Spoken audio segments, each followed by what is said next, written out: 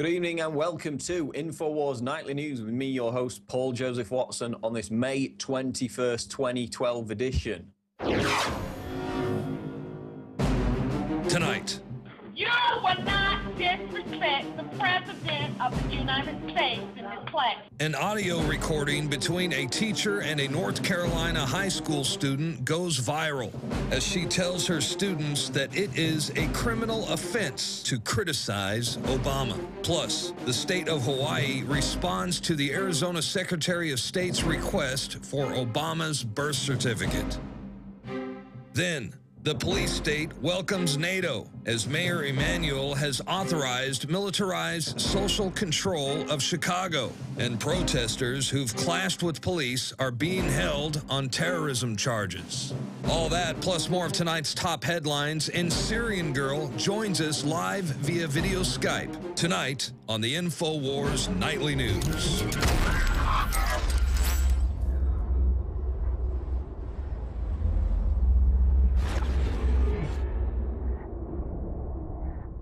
Our top story tonight teacher yells at student, criminal offense to criticize Obama.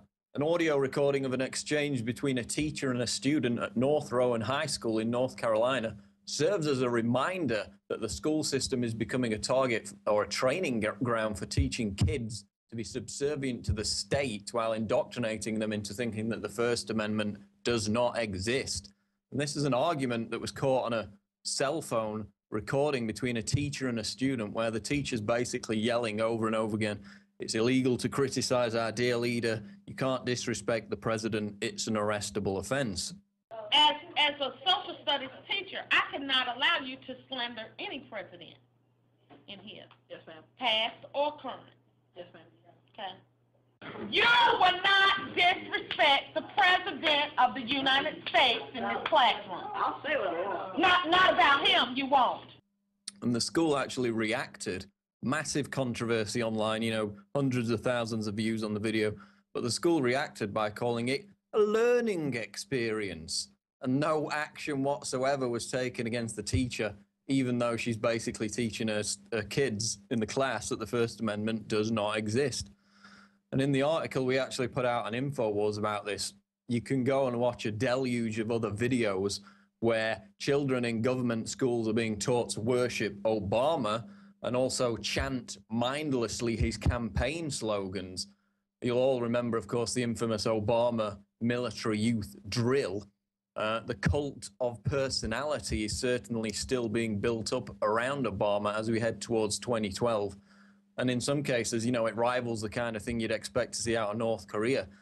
Remember also that in 2009, the White House actually announced that it would start broadcasting Obama's speeches directly into classrooms and that the Department of Education uh, would instruct teachers to ask children, quote, why is it important that we listen to the president and other elected officials? So they're getting in at an early stage, getting into the schools. And so not only are the schools now, you know, prison training centers with the surveillance cameras, the patrol cops, the drug raids, the fake attack drills, you know, watching kids via their webcams, the teachers in Pittsburgh, nothing happened. But they're also literally becoming re education camps in that they train kids not to be suspicious of authority and not to question elected representatives, servants like the president himself, but to literally worship and praise Barack Hussein Obama like he's some kind of Christ figure. So, again, another great reason to homeschool. AMC buyout part of Chinese takeover of media. Again, this is an Infowars.com story written by myself. Chinese company Wanda has announced it will buy AMC, the second largest theater chain in the United States, increasing fears that the Chinese Communist Party is expanding its influence globally as part of a media takeover. Beijing is investing heavily in projecting its soft power or cultural influence by boosting China's state media presence abroad, including the USA, where the Chinese government has also run advertisements in New York's Times Square, reports USA Today. So remember, of course, the remake for Red Dawn, you know, the classic Cold War 1984 film about the Russian troops invading. Originally, the remake in 2009 was supposed to feature Chinese troops invading America. That got switched because the production company, MGM, started getting calls from Chinese state media saying they didn't appreciate China being depicted in a negative light. And of course, the financial clout of such threats in terms of the Chinese market certainly made MGM sit up and take notice. And it, they actually had to mothball the film. It hasn't even been, been released yet, set to be released at the end of this year. Because they had to edit, they had to literally go into the film and edit out all the Chinese signage and props and replace them with those of North Korea because the Chinese government, the Chinese state media made it clear they weren't happy about it. So we've already had examples of Chinese communist censorship system imposing their financial clout through threats of intimidation against the Ameri- American film market. And now we're going to get that to an even greater extent with this takeover.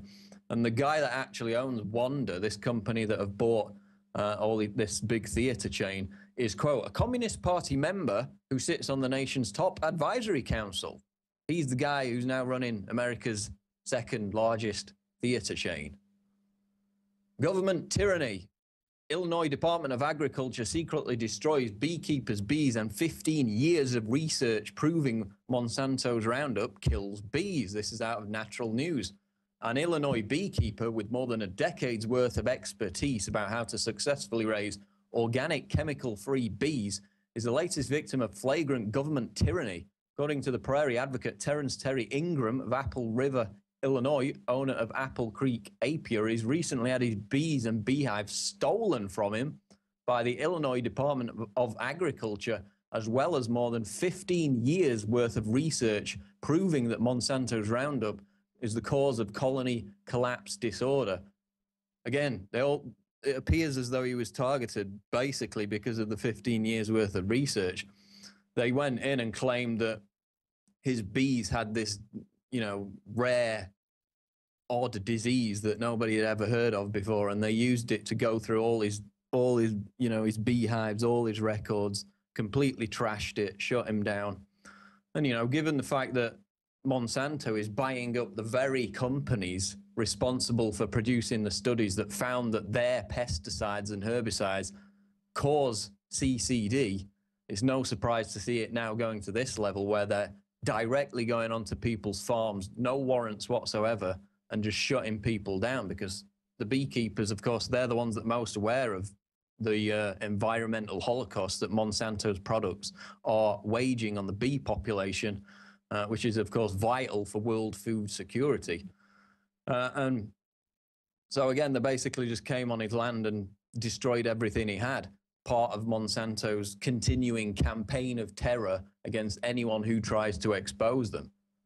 Next story on InfoWars Nightly News Jim Cramer is predicting bank runs in Spain and Italy and financial anarchy throughout Europe. During an appearance on Meet the Press on Sunday, Jim Cramer of CNBC boldly predicted that financial anarchy is coming to Europe and that there will be bank runs in Spain and Italy over the next few weeks. This is very strong language for the most famous personality on the most watched financial news channel in the United States to be using. I'm predicting bank runs, Spain and Italy within the next few weeks. Without a coordinated policy, there is going to be financial anarchy in Europe, and it is going to cause a slowdown worldwide. China and here, this must be dealt with. The Germans are in charge, and they're pro austerity, not growth. Well, of course, if you were reading Infowars.com two or three years ago, you would have heard something very similar. And we're already witnessing the bank runs in Greece as of last week. Massive, you know, what was it? Nearly a billion dollars taken out in banks just over a few days. And as we reported, the elite's concern is not necessarily about Greece. Of course, they couldn't give a damn about it as an individual sovereign country.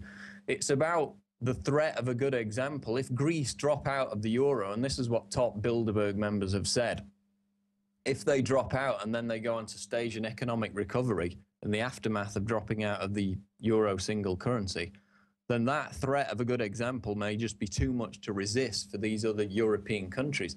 And that's why the establishment has been so desperate to install its uh, Goldman Sachs technocrats over the globe because you know, they don't want to see a trickle turn into a stampede and crush their whole dream of a European federal superstate, which was, of course, the brainchild of Bilderberg itself from way back in 1955, decades before the Maastricht Treaty that formally introduced the euro single currency.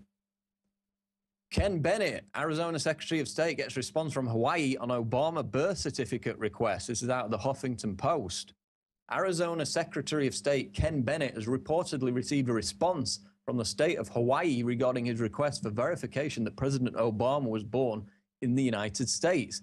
According to KTVK in Phoenix, the Hawaii Attorney General's office told Bennett that he must take a number of steps, including proving that the confirmation is necessary to update his office's records in order, in order to receive the verification. And basically, there's a quote from uh, Bennett I'm not a birther. I believe the president was born in Hawaii, or at least I hope he was. But my responsibility as Secretary of State is to make sure that the ballots in Arizona are correct and that those people whose names are on the ballot have met the qualifications for the office they are seeking. And of course, in addition to that, uh, thousands of people from Arizona have demanded that he look into this. And of course, events on Friday told us that the birther issue is not going to go away. We actually got quotes, though, out of TPM, kind of the uh, leftist media response to all this. Quote, Bennett caved to a fringe group of activists, again, thousands of people, fringe group, just in that one state alone, who believe in a conspiracy theory that just never seems to die, no matter how much proof they get. Oh, you mean the proof of a uh, long form birth certificate that a 12 year old kid with a basic knowledge of Adobe Photoshop could pull apart in five minutes, which is supposed to be written on a typewriter but clearly has computerized text in it. That proof, is that what you're talking about? Here's another one out of the talking points memo regarding this story. Hawaiian officials have said time and again that Obama was born there in 1961, yet the theory persists. Well, I'll tell you why the theory persists. Remember Hawaii Governor Neil Abercrombie and his efforts to get a birth certificate, copy of the long form. Well, listen to this quote. Quote, there is no Barack Obama birth certificate in Hawaii. Absolutely no proof at all that he was born in Hawaii. That's what radio host Mike Evans said Abercrombie had told him. And of course, Evans later bizarrely recanted and denied it all after making such a blunt statement. But basically, the governor, Abercrombie, tried to get in and demand the records. He was a supporter of Obama. He just wanted to get him to shut people up. He got nothing. He got absolutely nothing. And then uh, also, as Jerome Corsi reported, uh, former elections clerk in Hawaii, Tim Adams, signed a sworn affidavit saying he was told by supervisors in Hawaii that no long form hospital generated birth certificate existed for Barack Obama in Hawaii and that neither Queens Medical Center nor Kapiolani Medical Center in Honolulu had any record of Obama having been born in their medical facilities. So, uh, Secretary of State Ken Bennett, good luck with getting that original birth certificate because it's proven quite difficult so far. Moving on to NATO news now. United States to unveil plans to bolster NATO alliance. President Obama, this is out of the New York Times, Obama will unveil a new package of NATO initiatives that include the alliance purchasing a fleet of surveillance drones, sharing weapons and training facilities, and sustaining nuclear deterrence in Europe, even as disarmament efforts continue with an often belligerent Russia, according to senior administration officials. So basically, this whole article is about how the US is handing over the baton of military power to NATO. So we see more you know, humanitarian invasions carried out to a greater precision around the world. And of course, now the Secretary of Defense Leon Panetta has reaffirmed the fact, as we highlighted last week, that the White House now sees NATO and the UN as its boss rather than the actual United States Congress. It all makes perfect sense. So again, it's about this shift of uh, US military dominance and shifting it over to UN NATO, so it's in the hands of the international community, so they can have more of their humanitarian, uh, bloodletting invasions with uh, no opposition from Congress because all the power will have shifted to NATO and to the global government. Protesters and police clash at NATO meeting, two held on terrorism charges. Uh, they made Molotov cocktails, major act of terror. Protesters at the NATO summit meeting clashed with the Chicago police as officers tried to disperse thousands of people who had gathered several blocks from the site of the meeting and refused demands to leave. And here's another one out of The Guardian. Welcome NATO to Chicago's police state. With NATO delegates arriving Saturday night, the city of Chicago has been turned into a police state, courtesy of Mayor Rahm Emanuel, who severely, who several months ago began implementing new draconian anti-protest measures. Chicago has gone on security lockdown, and of course that meeting ends today. So massive police state again. It's a police state showcase there in Chicago. It's about um, training people that they have to get permission from the government to sit in a free speech pen about two miles away from where anything's happening. And if they try and, uh, you know, horror of horrors, express their God given First Amendment rights, then they will be treated accordingly. It's about sending out the message to onlookers and other people watching on global television do not protest. It is now an act of terrorism, which, of course, is how the Department of Defense now defines protest. So, you know, all the more reason to join the Occupy Bilderberg protest, where the crackdown will be uh, noticeably less severe because Bilderberg don't want any attention. And as the uh, attendees at Bilderberg this year in Chantilly are going to be broadly similar to the NATO summit, you know, NATO's going to have a presence. So if you want to protest the global elite, but you don't want to get your head caved in by the loving cops, then I would suggest that you join the burgeoning Occupy Bilderberg movement, uh, which is set to take place, of course, at the end of this month, 31st of May. And on that very subject, Bilderberg agenda attracts national exposure. The secretive Bilderberg Group's agenda for its 2012 meeting has attracted national attention with an article by veteran political journalist Ken Vogel exploring charges that the organization is set to play a decisive role in the upcoming US presidential election. And basically, the nub of this article focuses on our piece from back in April, where uh, we picked up on the fact that the Washington Post had more than suggested that Bilderberg um, would have a hand in picking Romney's VP, which looks to be Marco Rubio. He seems to be the choice. So basically, in this article, Vogel talks to Romney's advisors, who, of course, being Bilderberg attendees themselves, uh, sworn to secrecy, they deny the organization wields any power. They say, oh, you know, people get together at a nice hotel, have a nice dinner, and then go home, and that's it. Of course, we've manifestly proven that to be complete nonsense over and over again. The Bilderberg Group sets the consensus for policy, which its ad- attendees then agree to carry out in their respective spheres of influence. And that's not me saying that. That was former NATO Secretary General Willy Claes who admitted it in a 2010 radio interview. He was an attendee. He said, We go there, we create a consensus, we get our orders, we take them back, we implement them. Again, just a game of golf and a nice dinner in a nice hotel.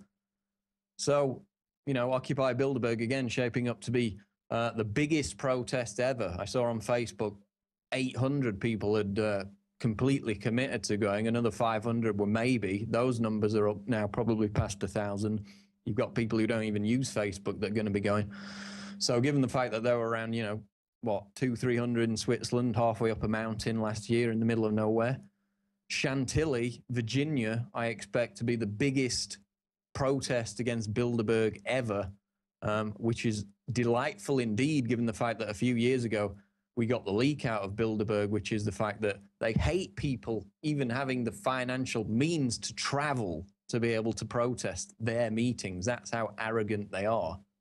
And their arrogance is going to be noticeably diluted as well this year because, of course, as Alex Jones has broadcast, he has two sources inside Bilderberg feeding him information on the group's secret agenda. That's how he was able to phone up the uh, Westfields Marriott and book the hotel room, even though you know they say oh, there's no rooms available, because he had the code word for the conference, which is the Palm Tree Conference. He got it from his Bilderberg source.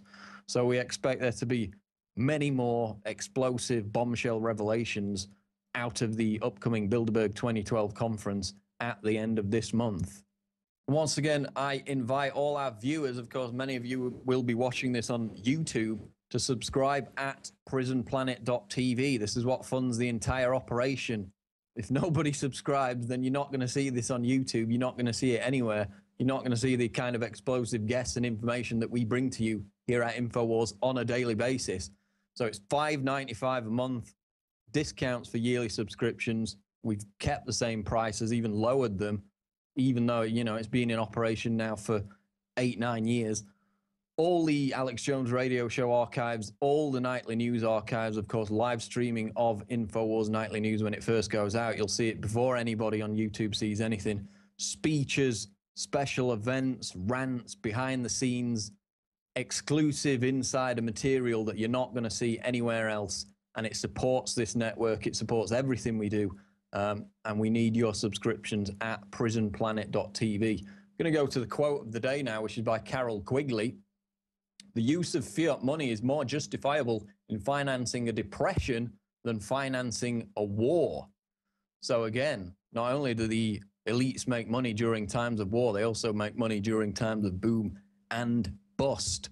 We're going to go to a break now. Coming up after the break, I'm going to talk to Syrian Girl, the outspoken anti NATO activist, about the situation not only in Syria, but also the Middle East, as US troops now officially present in Yemen. So we're going to go to that interview after this break on InfoWars Nightly News. Stay tuned. I really enjoy it when the globalists try to poison us, and uh, well, we resist them via a free market system. Hello, my fellow info warriors. Alex Jones here, introducing you to the Pro Pure family of gravity fed filters. Now, you know that the globalists are filling our water with radioactive isotopes, fluoride, lead, mercury, arsenic. And one of the few systems that can efficiently and economically remove or reduce down to non detectable levels these poisons are gravity fed filters. And ProPure is the top of the line. Their filters are impregnated with silver, a natural antibiotic. On top of that, they're bigger, so they filter faster. You don't have to prime these the first time you use them. It's amazing. Go to Infowars.com and click on the shopping cart link uh, to see the entire family of these babies. Now, the fluoride they add to our water is so tiny that most filters can't cut it out. But ProPure has their system that will, again, reduce it to non detectable levels, almost get all of it out of there. That's also available. And if you look at the different systems they offer, the Pro Pure Big Brush Finish is on a stand, so it's easier on a table or at your restaurant or wherever you have it to go up with a glass or a mug and fill it up. Then there's this big baby right here, the Pro Pure King large version. Got a lot of different options that come with it. Also, they have the Pro Pure Big, probably one of the best values out there. And of course, it's burnished stainless steel. And then what I use on my RV, something that's great for your hunting cabin or the back porch, is the ProPure Traveler. Small and portable, but packs a huge punch, cleans out all that garbage. They also have glass sight spigot, so you don't have to take the top off and look in the bottom area to see how much water. You can see how fast it's filtering with this optional uh, system. The globalists obviously are hitting us through our water. It's time to take control of our lives. It's time to not give our children and families these poisons. And these systems cut it down to non-detectable levels across the board. ProPure is the name. I only promote what I believe in. And I use ProPure in my home and my office. And I recommend that you check out the information on ProPure at Infowars.com. We already have the lowest price at Infowars.com on the ProPure gravity filter system. But when you add in the 10% off when InfoWarriors use the product code WATER at Infowars.com, nobody can top it. So again, it's a win-win-win. Stop drinking the poison water, uh, checkmate the globalists when it comes to your health, and support Infowars.com and the work we're doing here. You know, many revolutionaries rob banks and things and kidnap people for funds. We promote in the free market the products we use that are about preparedness. That's how we fund this revolution against the New World Order in our move to restore our constitutional republic and a spirit of 1776 worldwide. Check it out at Infowars.com. ProPure top of the line, number one, most powerful and effective and economical gravity fed water system in the world. ProPure, available, discounted at Infowars.com. Don't forget product code WATER to save 10%. It's the latest generation, years in development. ProPure is the name. We're back on InfoWars Nightly News, and I'm delighted to welcome now a prominent, outspoken activist against NATO's takeover in the Middle East, and of course, rising star of YouTube. It's Syrian Girl. Syrian Girl, welcome to the show. Hi, I'm glad to be here, Paul. Well, isn't it an amazing coincidence uh, as we see, of course, the humanitarian crises developing in Libya and Syria, you know, the, the targets of NATO regime change. Meanwhile, over in Bahrain, people are getting put in prison camps for sending tweets critical of their government. People are getting, being killed in the country by Saudi troops. But don't worry, because the UN is holding a working group discussion about the matter. So, Syrian girl, tell us about events in Bahrain. Well, one prominent thing you notice about Bahrain is actually missing from the mainstream media a great deal.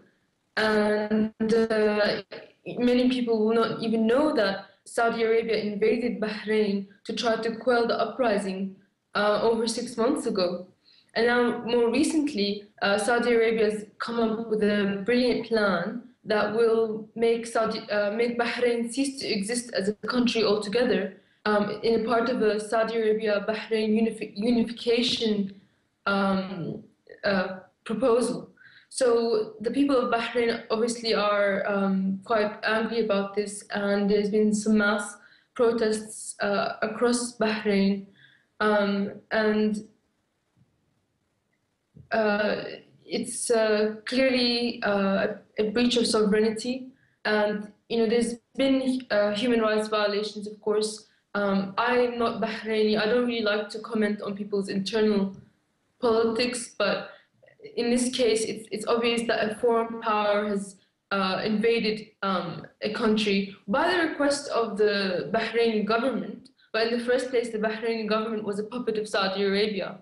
And uh, uh, one of the biggest crimes of Bahrain, uh, that the government of Bahrain did against its people was the center square of Bahrain had a very um, symbolic, uh, uh, they called it the pearl, and it was a statue in the middle of the square, and people used that statue to, to rally around, and the uh, Bahrain government just uh, um, destroyed the whole symbol, the whole statue, so people wouldn't rally around it. And that's the kind of uh, attitude that the Bahrain people are facing. So moving on to obviously we got that situation unfolding, being completely ignored by the establishment media in the West, while they'll they'll still crow about uh, the glorious Syrian rebels busy carrying out terrorist attacks again on Saturday. But meanwhile, in Yemen, um, while Hillary Clinton, you know, admits that the U.S. and Al Qaeda are on the same side in Syria, in Yemen we've got U.S. troops on the ground. Again, no congressional authorization, and it's all in the name of fighting Al Qaeda, even though we're on the same side as Al Qaeda in Libya and Syria. The best enemies money can buy. And there's a quote here out of the LA Times today.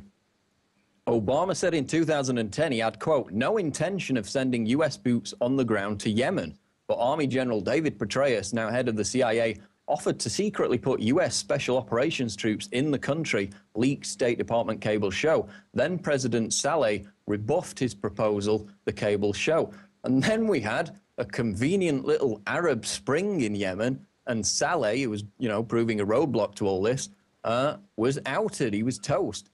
So, Syrian girl, US troops in Yemen now officially. What's the core objective behind these boots on the ground that Obama promised he would never send?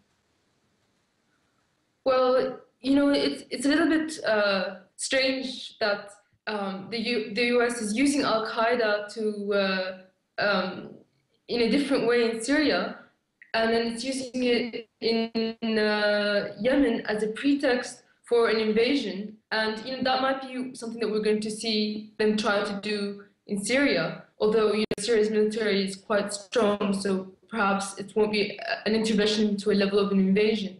But with Yemen, um, if you you asked uh, what's the importance of it, why are they there? Well, if you look at Yemen geographically, it's right next to the Suez Canal, and uh, it's it's uh, with uh, a African country called uh, Djibouti. I'm not sure if I pronounced that properly. It's uh, it, there's a little bit of a, a cutoff in that canal. And so Yemen is a very important country for imports and exports to go through uh, for control. So that was one of the reasons that US troops are in there. It's interesting that we never really heard about US troops there until there was um, a bombing recently uh, where uh, one of these uh, trainers, they're called, um, was uh, injured in this bombing although you know 100 uh, Yemeni soldiers were killed in the bombing as well um, due to the uh, CIA terrorist organization Al Qaeda.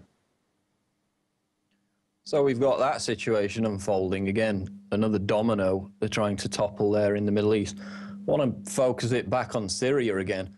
Uh, because, you know, when the Arab League went into Syria and reported there was violence on both sides, the uh, Western establishment media couldn't care less. So then we had the uh, also independent UN, who have now gone in as observers.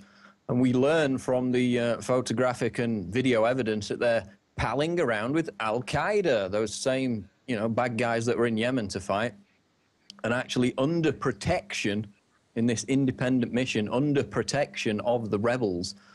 So, given that, Syrian girl, how independent do you think the UN mission in Syria really is?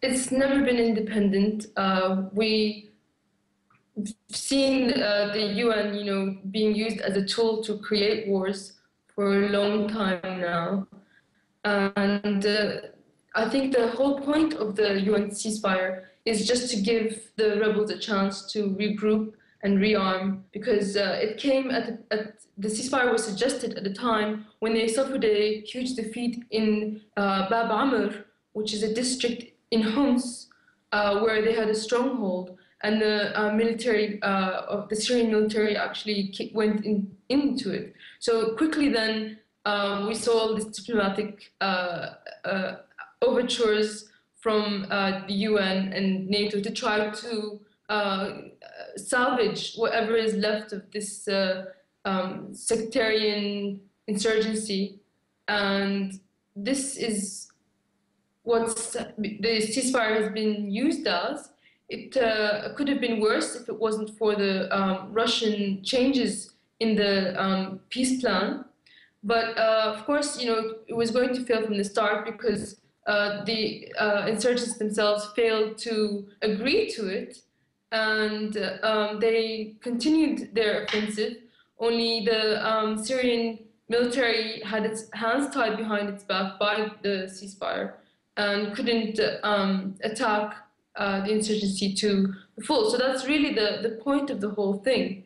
And uh, it's funny to uh, assume that uh, the NATO side is wanting to see the ceasefire succeed because as it was going, what has happened in Syria, um, the international uh, uh, EU and NATO has increased sanctions against Syria and they have openly uh, declared monetary funding and non-weapon aid to the rebels, although Syria and the Lebanese military has been capturing weapons shipments, uh, huge ones, um, over the last few months since the ceasefire was declared. So it's it's obvious that uh, at, at least you know the, the EU and uh, NATO have no intention for there to be peace or a ceasefire, and they're actively um, undermining the so-called uh, ceasefire.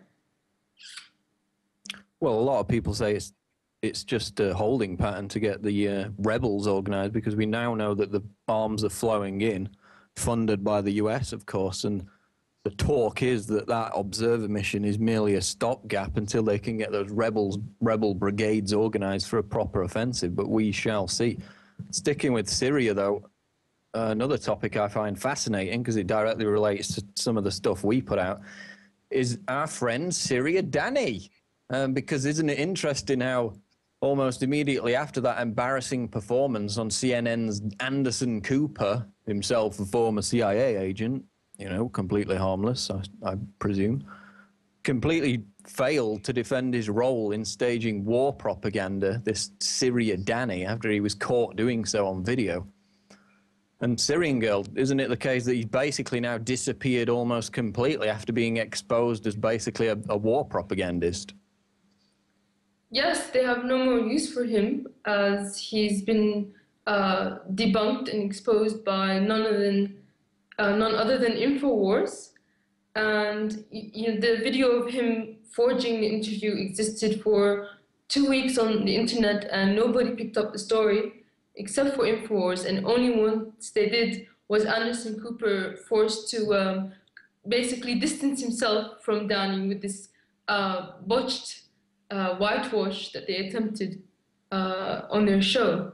So, um, unfortunately, though, there's continuing disinformation coming out from media, uh, if not with the use of this Danny. Uh, you know, there's, there's plenty of other uh, people to buy off. Uh, and there's, there's been an, a recent piece of information that from the FSA that they killed six Syrian officials, and Al Jazeera picks this up, you know, and, and then other media have picked it up. And in fact, all of those uh, government officials came out and said they're alive. So the lies continue, and I don't think we've seen the end of them. Uh, here's a common question, but it's it's one I'm going to ask. What do you say to people who say, well, this Syrian girl is just being paid by the Assad regime to propagandize and cover up the, the uh, fact that his government's killed 10,000 people? Well, I think that it's just an easy way to put aside everything I say and delegitimize it when uh, it's obvious that I've uh, stood um, clearly my position that I have always been um, a patriotic opposition to the government. I I have no links at all to the Ba'ath Party, um, and these allegations, you know, they're just um, a way to tarnish uh, someone's image and someone's name um, by people who don't like what I'm saying, and um, I wonder who benefits least from what I'm saying. And you know they would have something to gain from claiming that I'm somehow li- linked to the Syrian government. Well, you know, I, I guess we've got the entirety of the Western establishment media pushing the line that these uh, glorious rebels are in fact freedom fighters when they're carrying out terrorist attacks on a weekly basis. So I guess that angle's covered. well, actually, another story I read in the Financial Times a few days ago was written by Anne Marie Slaughter, who is a CFR member. And she was basically saying, look, we've reached an impasse with this Syria situation. Nothing much is happening. They haven't, you know, overthrown the regime as soon as they wanted. She said, let's arm the citizens with smartphones and facilitate them the ability to upload abuse videos to a centralized UN hub. So they're actually proposing going in there, arming people with cameras and cell phones and saying, you can go and upload, you, you know, your, your Syria Danny style propaganda videos to our UN hub. Does, does that sound open to abuse or what? I think it's pretty strange because that already happened. The, um, most of the insurgents are armed with high powered cameras, and I have video evidence of this because they all pulled them out when the UN monitors were present. And, you know, smartphones exist in Syria already. So what you're saying is a bit ludicrous and outdated because this has already been happening since the beginning. And of course, it's, uh, um, it's being abused. And, uh, you know, these uh, Al Jazeera and CNN and BBC and France 24, they, they love this um, one-sided view from a shaky camera that nobody can really tell what happened or who shot who because then they can make whatever they want out of it.